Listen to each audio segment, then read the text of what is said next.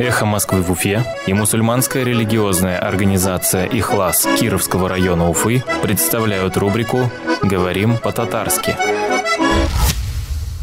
Месяц, Ой, два месяца, ики ой, два месяца. ики ой, Депутата Горсовета Андрея Носкова арестовали на два месяца заочно.